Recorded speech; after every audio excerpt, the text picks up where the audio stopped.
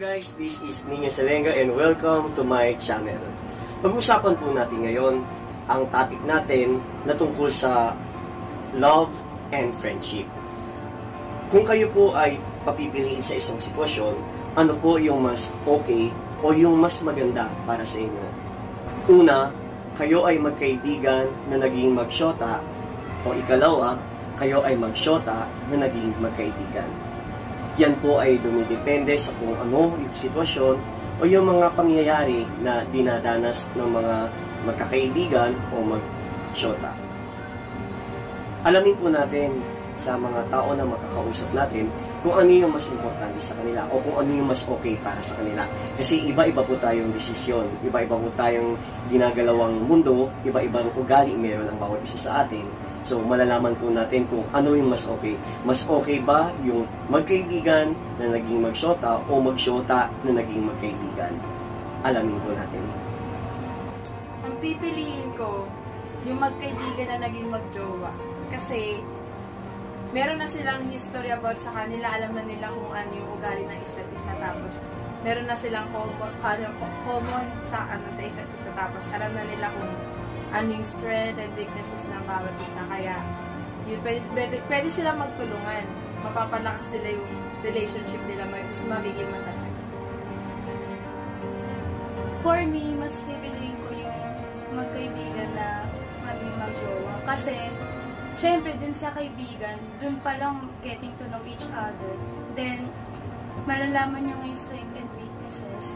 Then, pag patagal, patagal na patagal, uh, ano, dun kasi sa kaibigan, dun pa lang yung parang level up yung relasyon. Para sa akin, magkaibigan bago naging magsyota. Kasi dahil mas nakilala nyo muna yung sarili nyo na nakilala nyo mga gusto at ayaw nyo sa mga bagay-bagay. Naging komportable kayo sa mga gusto nyo gawin bago kayo naging magsyota. Kasi unlike kasi na pag magsyota kayo, tapos hindi naman kayo nag-start na makilala isa't isa na mabuti. May mga bagay kasi na hindi kayo nagkakasundo, tapos lagi kayo mag-aaway lang, kaya mas okay yung magkaibigan bago maging magsyota. Para sa akin, magjowa na naging magkaibigan. Kasi sa mundo natin, walang kasiguraduhan. Lahat ng makikita mong tao, maaaring maging jowa mo siya. Pero sa realidad, hindi na nagiging magkaibigan sa dulo. Kaya yung pipiliin ko, yung magjowa kayo, tapos maging magkaibigan kayo. Kahit na may hindi kayong magandang pinagdaanan, at least sa uli, naging magkaibigan kayo. Hindi na baliwala yung relasyon yung pin- pinundar nung una pa lang. Hindi man kayo nagkatuluyan sa dulo, at least naging magkaibigan kayo.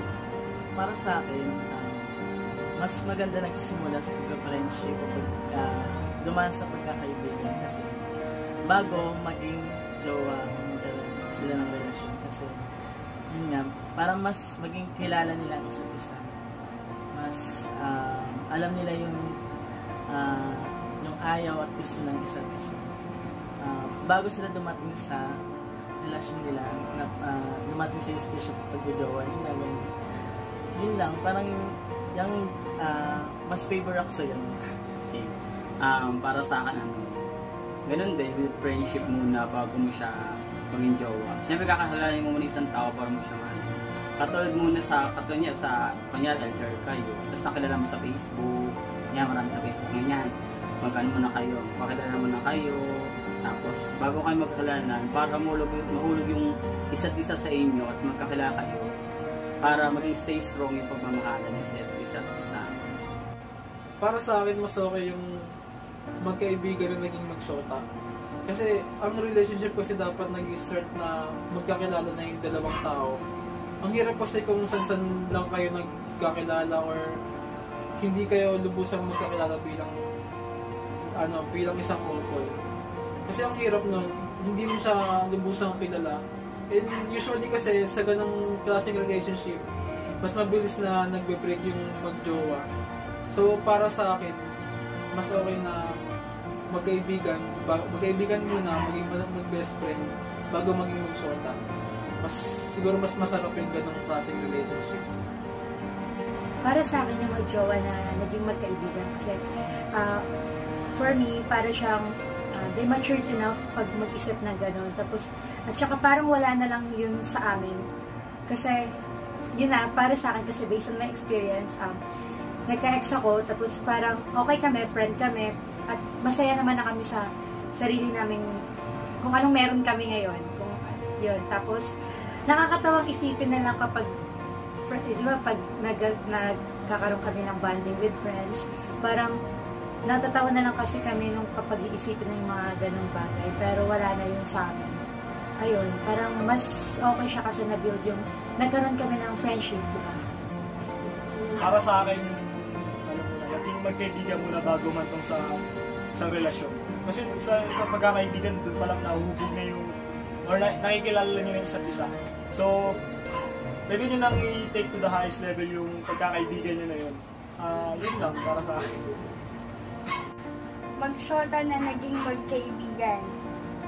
Kasi, if, if nung, naka, if in a relationship kayo, tapos, uh, nakita niyo, though nakita niyo na yung good sides and bad sides, or good traits or bad traits ng isa't isa, still hindi siya nag-work. Mas maganda na manatili na lang kayong maging magkaibigan kasi baka doon mag-work. Kasi, kasi mas maganda na lang na maging magkaibigan kayo para wala na lang sisihan hanggang bandang huli. At least, yung, yung feelings nyo na protektahan pa. Mag-shota na naging magkaibigan. Napanood at napakinggan po natin kung ano yung pinili nila o kung ano yung mas okay para sa kanila. Kayo rin po, ano po sa palagay ninyo yung mas okay para sa inyo. Huwag mahiyaan na mag-comment sa ating comment box na nasa ilalim at sabihin po natin kung ano yung sa loobin natin. Wala pong mali o walang tama sa mga sasabihin natin kasi katulad ng sinabi ko po kanina, meron tayong iba't ibang desisyon at meron po tayong iba't ibang mga kaugalian o katangian. Maraming maraming salamat sa inyo guys. Bye bye. See you again sa ating mga susunod na vlogs. Huwag po natin kalimutan uli, pinpin ang subscribe button, pati na rin ang bell para sa mga susunod na vlogs and videos na aking i-upload sa aking channel. Maraming salamat guys. Salamat.